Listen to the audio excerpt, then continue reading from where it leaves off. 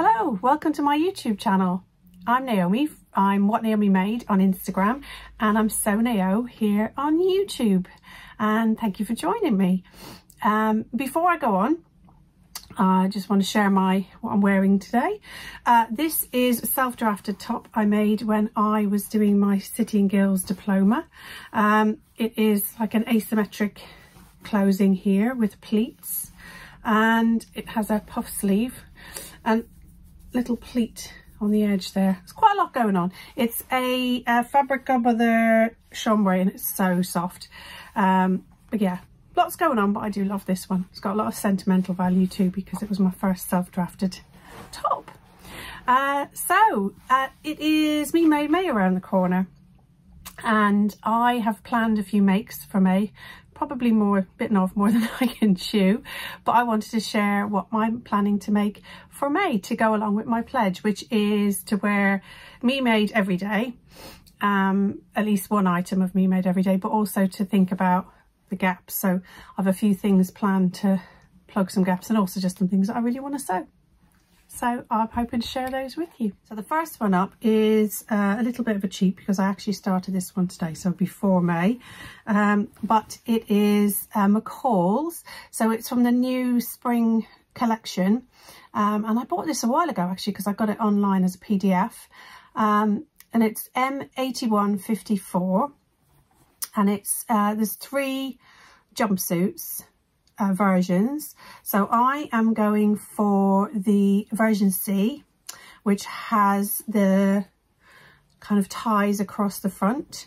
So I'm making it in this Rainbow Fabrics uh, viscose, linen viscose in lilac. I'm a bit obsessed with lilac at the moment. I've got a few lilacs lined up in my plans um, but it's so nice to work with it's really lovely to work with it's got lovely drape I was going to go for the full length leg and the cuff and see how it looked. and if it didn't look right go for the cropped leg.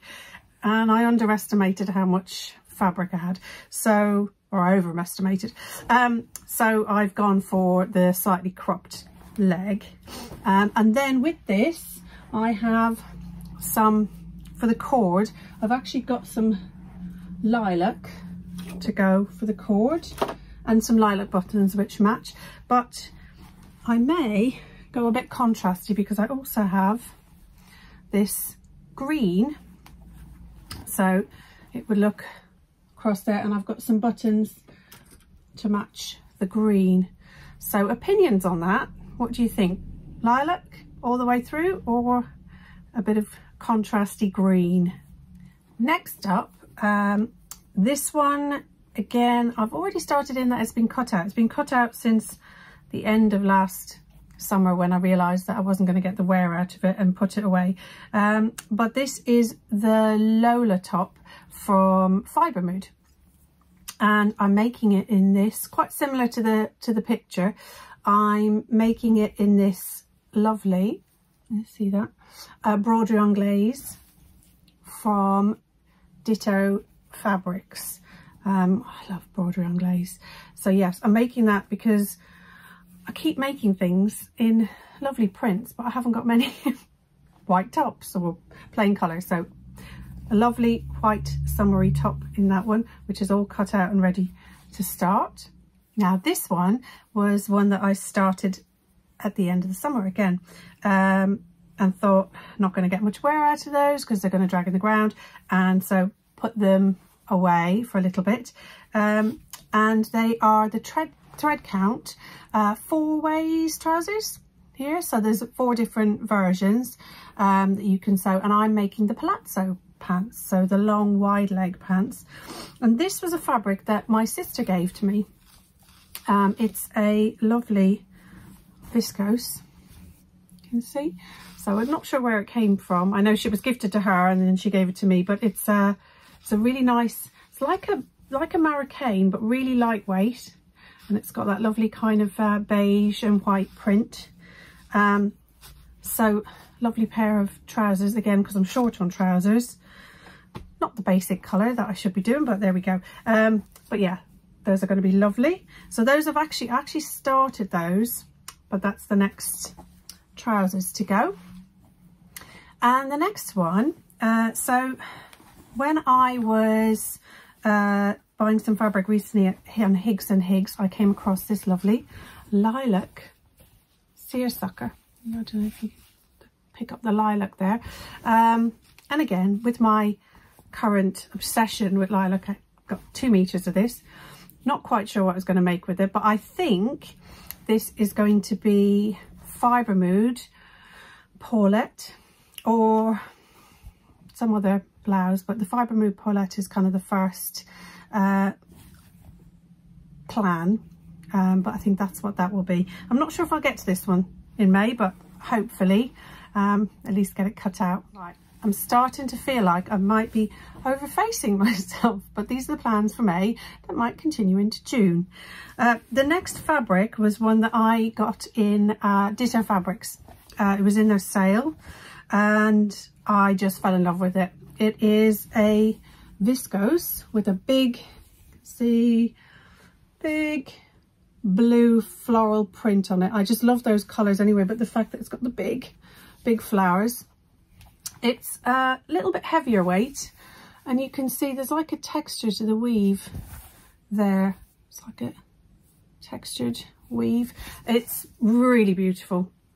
And I think the only thing for this dress is a big statement dress with statement sleeves to swish around in. Uh, so I have got two options for this dress so far, but I would really like your opinions uh, if you can think of something else. Uh, I'm thinking either um, the zero waste gather dress, so this one, um, to make a nice big dress and not to break up the flower too much, uh, or the Vali dress from Pattern Fantastique.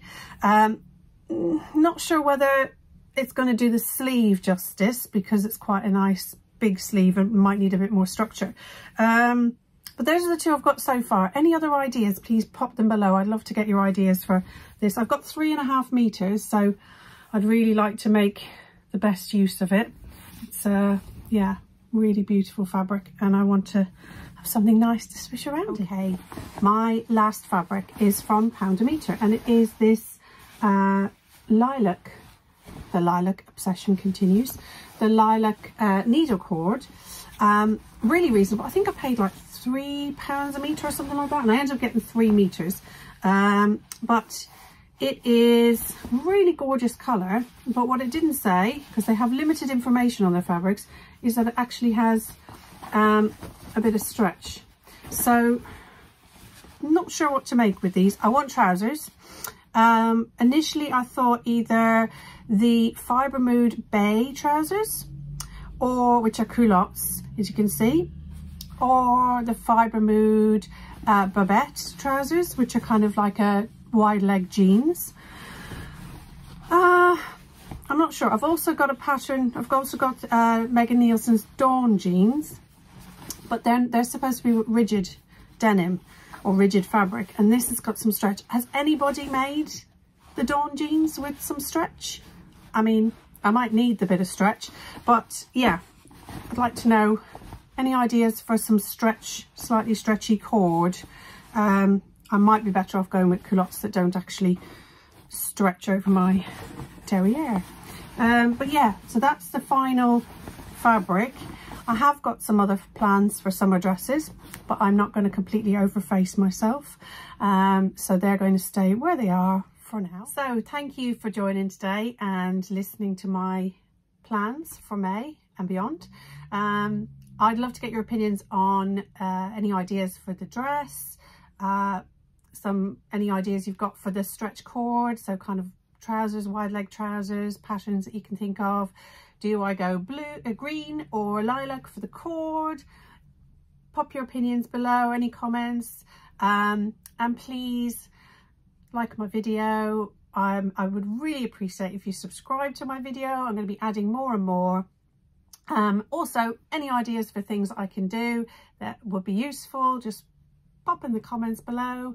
Um, but thanks for joining and have a wonderful Me Made May, everybody.